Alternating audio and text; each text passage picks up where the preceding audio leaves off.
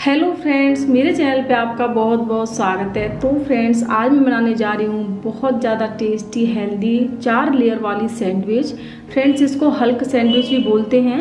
और ये मैंने इसको बिना अवन के, ज़्यादातर ये अवन में ही बनाई जाती है, बट अवन नहीं है हमारे पास तो मैं इसको बिना अवन के ही सिर्फ़ कढ़ाई में बना के दिखाऊँगी आपको। बिल्कुल मार्केट के जैसा टेस्ट लुकिंग देखिए आप इसकी कितना सुंदर लग रहे हैं।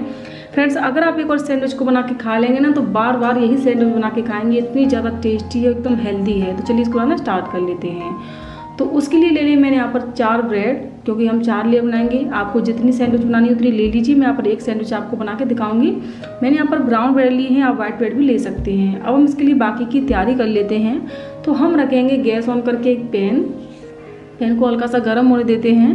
पैन हल्का सा गर्म हो चुका है तो मैं यहाँ पर डाल रही हूँ एक चम्मच ऑलिव ऑयल मैं यहाँ पर ऑलिव ऑयल का यूज़ कर रही हूँ। आप इसमें कोई भी कुकिंग ऑयल ले सकते हैं, जो भी आप यूज़ करते हैं। ऑयल गर्म हो रहा है, जब तक हम बाकी की चीज़ें देख लेते हैं तो मैंने यहाँ पर चार से पाँच लहसुन की कलियों को चॉप कर लिया है। एक बारीक कटी हरी मिर्च, बारीक कटी हुई एक प्याज, और देखिए मैंने यहाँ पर एक आलू ले लिया था। आलू को मैं आप दिखा रही हूँ, कितना बारीक चॉप किया है। बिल्कुल फाइन एकदम चॉप किया है, जिससे कि अच्छे से पक जाए, क्योंकि कच्चा आलू है। एक शिमला मिर्च को बारीक काट लिया है, एक टमाटर लिया है, बारीक कटा हुआ। अब हम क्या करेंगे? सारी सब्जियों को हमें सॉटे करना है। सब्ज़ियाँ आपके पास जो भी अवेलेबल है वो आप ले सकते हैं। आप इसमें बीन्स पत्ता गोभी, मटर भी ऐड कर सकते हैं। अगर इनमें से कोई आप सब्ज़ी नहीं खाना चाहते हैं, जैसे कि आलू आप नहीं चाहते हैं तो आलू को आप पूरी तरह से अवॉइड भी कर सकते हैं। अब यहाँ पर ऑयल जो है अच्छे से गर्म हो चुका है तो सबसे पहले हम डालेंगे लहसुन। क्योंकि लहसुन का जो कच्चापन है वो निकल जाएगा। लहसुन को हमें अच्छे से पकाना है। बाकी सारी सब्जियों को बस हमें हल्का सा सोटे करना है।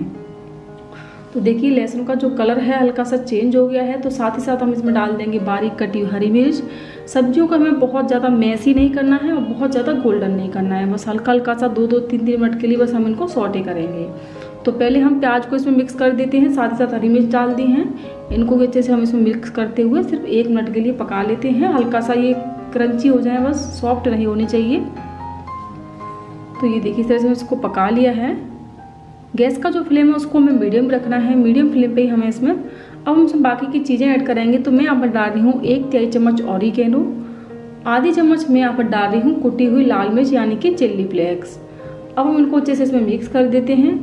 इस टाइम पे हम इसलिए डाल रहे हैं जिससे कि इस तरह से हम इसको मिक्स करके जब बनाएँगे ना तो टेस्ट बहुत अच्छा हो जाता है। तो इस तरह से मैंने अच्छे से मिक्स कर लिया है। अब मैं यहाँ पर डालूँगी कच्चे आलू। जो मैंने कच्चे आलू लिए हैं, उनको हमें पकाना है तो प्याज के बाद हमें उनको ही डालना है। तो आलूओं को डाल दिया है। अगर आप आलू नहीं खाना चाहते हैं तो इनको स्किप कर दीजिए। अगर आपके पास बॉयल्ड आलू हैं तो बॉयल्ड आलू भी ले सकते हैं। तो देखिए, आलू को भी अच्छे से मैंने मिक्स कर लिया है। अब हम इसमें डाल देंगे साथ ही साथ आधी चम्मच नमक। जितना भी नमक डले, आप इसी टाइम पे डाल दीजिए और नमक अपने टेस्ट अकॉर्डिंग डाल सकते हैं। मैंने आधी चम्मच डाला है। इस टाइम पे नमक डालने से जो आलू हैं जल्दी से पक जाते हैं। इसमें नमक को मैंने अच्छे से मिक्स कर दिया है अच्छे से। अब हम क्या करेंगे, इसको हम कवर करके पकाएँगे दो से तीन मिनट के लिए। दो से तीन मिनट में ही आलू अच्छे से पक जाते हैं, बहुत ज़्यादा टाइम नहीं लगता है। मैंने पर सिर्फ़ तीन मिनट तक पकाया आलूओं को। देखिए, आलूओं को मैं आपको तोड़ के दिखा देती हूँ तो पहले हम इस तरह से थोड़ा सा मिक्स कर लेंगे इनको। ये देखिए, इस तरह थोड़ा सा प्रेस करेंगे तो आलू जो है ना, काफ़ी अच्छे से सॉफ्ट हो चुके हैं। देखिए, बिल्कुल बढ़िया से सॉफ्ट हो गए हैं। अब हम इसमें बाकी की चीज़ें ऐड कर लेंगे तो साथ ही साथ मैं यहाँ पर डाल रही हूँ टमाटर। साथ ही साथ हम इसमें शिमला मिर्च भी डाल देंगे। इनको भी अच्छे से इसमें मिला देते हैं। इनको भी हमें हल्का हल्का सा सॉटे करना है। तो ये देखिए, सारी सब्जियों को मैंने अच्छे से मिक्स कर लिया है। अब हम क्या करेंगे, इसको फिर से कवर करके हम सिर्फ़ दो मिनट के लिए और पकाएँगे। तो ये देखिए, मैंने यहाँ पर सारी सब्जियों को दो मिनट के लिए और पका लिया है। अब हम इसको थोड़ा सा मिक्स कर लेते हैं। तो सारी सब्ज़ियाँ अच्छे से सॉटे हो चुकी हैं, हल्की हल्की सी सॉफ्ट हो गई हैं, बिल्कुल इसी तरह का पकाना है। अब हम क्या करेंगे, सबसे लास्ट में हम डालेंगे इसमें थोड़ी सी धनिया की पत्तियाँ। अब हम गैस को ऑफ़ कर देते हैं और इसको अच्छे से मिक्स कर देते हैं इसमें। स्टफिंग को अच्छे से हम ठंडा होने के लिए छोड़ देंगे इसी तरह से। जब तक हम इसके लिए बाकी की और तैयारी कर लेते हैं, क्योंकि हमें इसके लिए एक सॉस बनानी है। तो सॉस बनाने के लिए हम लेंगे एक मिक्सी का जार, और मैंने यहाँ पर ले लिए हैं दो टमाटर बड़े साइज़ के, जिनको मैंने इस तरह से रफली बड़ा बड़ा सा चॉप कर लिया है, क्योंकि हमें इसका पेस्ट बनाना है। तो अब हमें सारे टमाटरों को इस जार में डाल देंगे। तो मैं टमाटरों को डाल दिया है। अब मैं यहाँ पर डाल रही हूँ दो चम्मच टमाटो सॉस इससे इसमें जो टेस्ट है ना, इतना अच्छा आता है, बहुत ज़्यादा अच्छा आता है। तो आप टमाटो सॉस ज़रूर डालें। टमाटो सॉस नहीं है तो आप चिल्ली सॉस भी डाल सकते हैं। तो टमाटो सॉस डाल देंगे साथ ही साथ। एक तिहाई चम्मच मैं पर डाल रही हूँ लाल मिर्च का पाउडर जिससे कि जो हमारी सॉस है फीकी फीकी ना लगे। थोड़ा सा नमक डाल देंगे। बहुत ज़्यादा कुछ नहीं डालना है, क्योंकि हमने सारी चीज़ें स्टफिंग ऑलरेडी डाल रखी हैं। अब हम चार कड़कन बंद करके अच्छे से फाइन पेस्ट बना लेते हैं। ये देखिए, बिल्कुल इस तरह का मैंने फाइन पेस्ट बना लिया है, एकदम प्यूरी जैसी बना ली है इसकी। आप इसका कलर देख सकते हैं, कितना ही सुंदर कलर आया है, क्योंकि हमने जो टमाटो सॉस डाला है ना, उसकी वजह से कलर और इसका टेस्ट इतना अच्छा हो गया है कि आप इस चटनी को किसी और नाश्ते के साथ भी खा सकते हैं, तब ये बहुत ज़्यादा टेस्ट लगेंगे। तो देखिए, मैंने इस तरह से सारी चीज़ों को तैयार कर लिया है। मैंने पर स्टफिंग को रख लिया है टमाटो सॉस और ये मैंने यहाँ पर ले ली है ग्रीन चिल्ली सॉस। ये मैंने यहाँ पर मार्केट वाली सॉस ली है। आप चाहे तो घर पे ही जो नॉर्मल चटनी बनती है, हरी चटनी, वो भी आप बना सकते हैं। उसका भी आप इसमें यूज़ कर सकते हैं। और मैंने यहाँ पर ले लिया है थोड़ा सा चीज़। आप इसमें मोजरेला चीज़, प्रोसेस चीज़, कोई भी चीज़ ले सकते हैं, जो भी आपके पास अवेलेबल है। तो मैंने यहाँ पर चीज़ को ग्रेट कर लिया है। अब हम लेंगे एक ब्रेड का स्लाइसेस। और मैंने ले लिया है थोड़ा सा बटर बटर को मैंने पहले से रूम टेम्परेचर पर कर लिया है हल्का सा, जिससे कि आसानी से लग जाए और उसमें हम अच्छे से एक बटर की कोटिंग कर देंगे, जिससे कि जो हमारा सबसे नीचे का जो ब्रेड है, ये सॉफ्ट नहीं होगा ज़्यादा, इसलिए हम इसमें लगा रहे हैं। अब मैंने यहाँ पर थोड़े से टमाटर के स्लाइसेस ले लिए हैं तो मैं यहाँ पर एक लेयर बना रही हूँ टमाटरों की इस तरह से। इस तरह से लेयर बना दी है मैंने। अब मैंने यहाँ पर जो भी स्टफिंग बनाई है, प्याज, टमाटर वगैरह की, वो लगा देंगे थोड़ी थोड़ी सी। और थोड़ा सा हम इसमें डाल देंगे चीज़। तो इस तरह से चीज़ डाल दिया है। अब हम लेंगे फिर से दूसरा ब्रेड का स्लाइसेस इसमें मैं लगा रही हूँ ग्रीन चटनी। इस तरह से देखिए, अच्छे से कोटिंग कर लें। जो ग्रीन चटनी लगाई है मैंने, उसको हम इस तरह से नीचे की साइड से कर देंगे। ये देखिए, इस तरह से एक लेयर बन चुकी है हमारी। अब हम यहाँ पर दूसरी लेयर बनाएँगे। थोड़ा सा प्रेस करते जाएँगे साथ ही साथ। तो अब मैंने यहाँ पर जो सॉस बना के रखी है, उसको हम लगा देंगे इस पर। सॉस लगाने के बाद फिर से हम इस पर सब्ज़ियाँ लगाएँगे।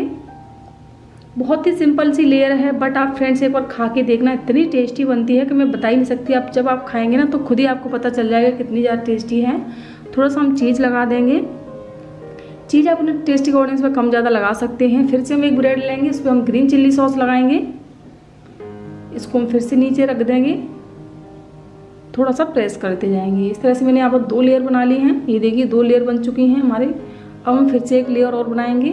तो सेम प्रोसेस से हम इस पर भी टमाटो सॉस लगा देते हैं।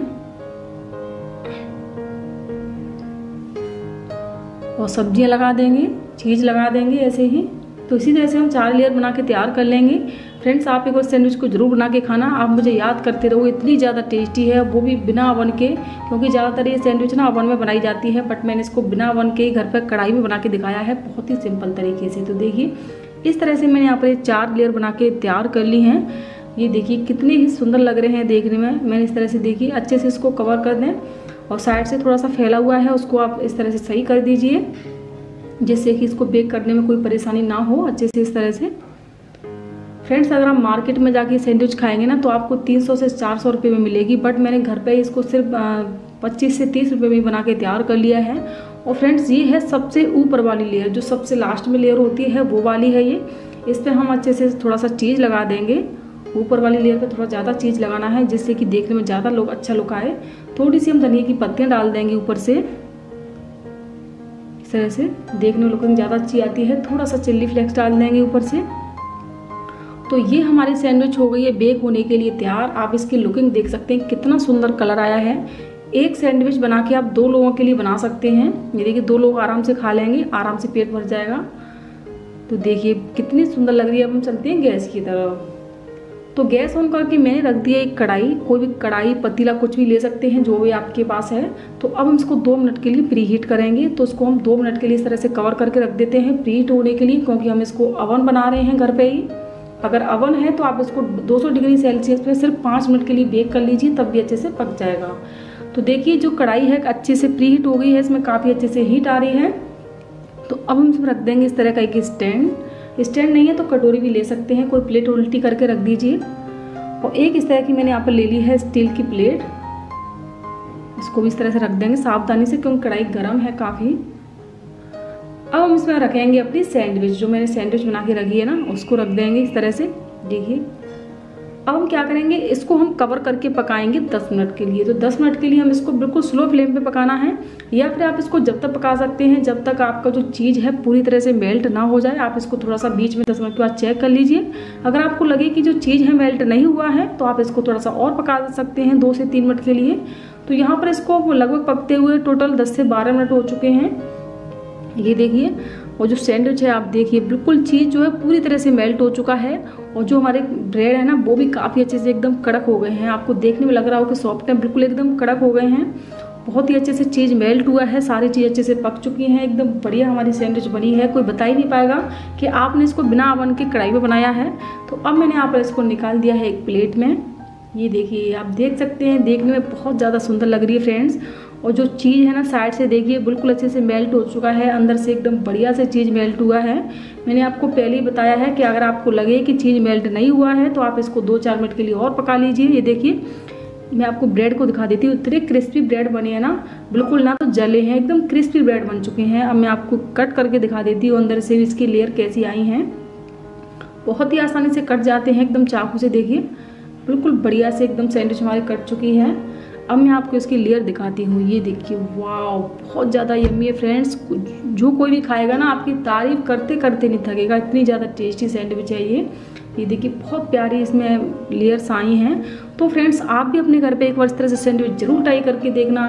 आपके घर में सभी आपकी इतनी तारीफ़ करेंगे कि आप बहुत ज़्यादा खुश हो जाएँगे। तो आप मुझे ज़रूर बताना कि आपको मेरी वीडियो कैसी लगी है।